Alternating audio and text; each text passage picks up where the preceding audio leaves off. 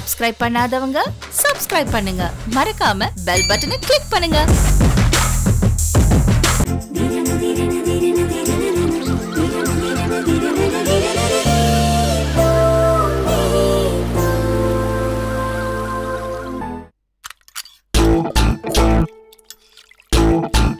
எப்படி அந்த தின்னி பண்டாரம் உன்னை பார்த்த உடனே ஓகே சொன்னவன்? உன்கிட்ட பேசினதுக்கு அப்புறம் குடும்பத்தோட அந்த ஓட்டம் ஓடிட்டான் அப்படி என்னடி சொன்ன அவன்கிட்ட?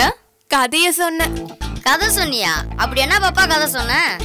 இதுக்கு முன்னாடி யாரையாவது லவ் பண்ணிருக்கியான்னு அந்த முட்டா பையன் கேட்டான். ஒருத்தனை கூட லவ் பண்ணதில்ல ஆனா மூணு பேர்த்தோட குடும்பம் நடத்திருக்கேன் அதனால உங்களை என்னால நல்லா பாத்துக்க முடியும்னு சொன்னேன் பாரு. அவ்வளவுதான். தெரிச்சு ஓடிட்டான். அடி பாவி. பாப்பா நீ பண்ணது உனக்கே ஓவரா தெரியல? ஓவரா? ஏன ஒண்ணுமே பேசாம அவனை கட்டிக்கிட்டு நடத்த சொல்றீங்களா? அப்படி சொல்லல பாப்பா. இந்த மாதிரி ஒரு டிராமா போடுறது தேவையானதான் கேக்குறேன். அதை விட உனக்கு கல்யாண விஷயத்தை அவங்க கூட சொல்லிருக்கலாமே? இல்லன்னு அத சொல்றதுல சிக்கல் இருக்கு.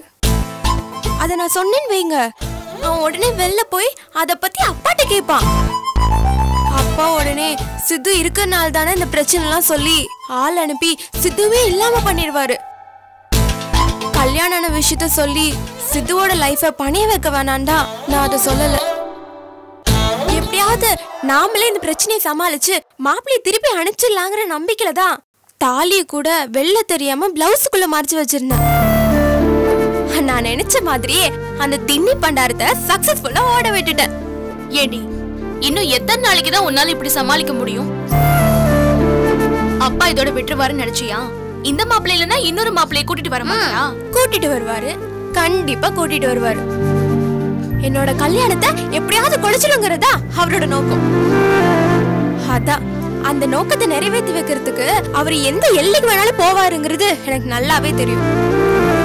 ஆனா அவர் எத்தனை மாப்பிள்ளையை கூட்டிட்டு வந்தாலும் எனக்கு கவலை இல்ல. அத்தனை பேத்தி சமாளிச்சு திருப்பி அனுப்புறது எப்படின்னு எனக்கு தெரியும். அப்படி நினைக்காத பாப்பா. பணத்தாசை பிடிச்சுன்னு எத்தனையோ பேர் இருக்கிறாங்க அப்படி எவனையாச்சும் கூட்டு வந்து நிப்பாட்டினாரா பிரச்சனையா போகுது. அண்ணன் ஒரு விஷயம் மட்டும் எனக்கு நல்லா தெரியும். என்னதான் அவன் பணத்தாசை பிடிச்சவனா இருந்தாலும் தனக்கு பொண்டாட்டியா வரப்போறவன் சுத்தமா இருக்கணும்னு அவன் எதிர்பார்ப்பான். அந்த இடத்துல அடிச்சோன்னு வைங்க. எப்பேற்பட்ட ஆளும் தாங்க மாட்டான். சைக்காலஜிக்கலா கலங்கி போயிருவான். நீ சொல்ற கதையை எல்லாரும் நம்புவாங்கன்னு என்னடி நிச்சயம்? நம்புற மாதிரி புது புது கதையா சொல்ல வேண்டியதாக்கா? எனக்கு வேண்டியதெல்லாம் ஒன்னே ஒண்ணுதான். என்ன பொண்ணு பார்க்க வரவன் என்னோட தனியா பேச வரணும். அப்படி மட்டும் பேச வந்துட்டான்னு வை. அவனை கதர் சொல்லி கதர் வச்சிருவேன். நான் சொல்ற கதையை கேட்டு எல்லா பயலுகளும் இப்படிதான் தெரிச்சு ஓடுவாங்க. நீ வேணா பாரேன் ஏண்டி இப்படியே எத்தனை நாளைக்கு தான் சமாளிப்ப? தாத்தா வர வரைக்கும் தான். தாத்தா வந்துட்டாருன்னா எல்லா பிரச்சனையும் ஆட்டோமேட்டிக்கா சரியாயிருக்கா? பாப்பா ஐயா சீக்கிரம் திரும்பி வரும்னு நானும் கடல் விட்டு வேண்டிக்கிறேன். ம். ஆனா ஒரு பேச்சுக்கு ஐயா திரும்பி வர லேட் ஆயிடுச்சு. அல்லது திரும்பி வரவே இல்லைன்னு வையே. அப்ப என்ன பாப்பா பண்ணுவ? என்ன வேணாலும் பண்ணுவ பெருமாள். எங்க அப்பா நினைக்கிறது மட்டும் நடக்கவே விட மாட்டேன். நானும் சித்தார்த்தம் தான் புருஷன் பொண்டாட்டி. அதுல எந்த மாற்றமும் இல்ல. என் அப்பா தான் என் வாழ்க்கைக்கு வில்லனா வந்து நிக்கிறாரு. அப்பாவாச்சுன்னு கூட பார்க்க மாட்டேன். எப்படி சித்தார்த்த ஒண்ணுமில்லாம பண்ணி என் வாழ்க்கையை பறிக்கணும்னு அவர் திட்டம் போட்டாரோ? அதே மாதிரி அவரை ஒண்ணு இல்லாம பண்ணி என் வாழ்க்கையை காப்பாத்துறதுக்கு நான் தயங்க மாட்டேன். ஏய் என்னடி? திடீர்னு இவ்ளோ சீரியஸ் ஆயிட்ட?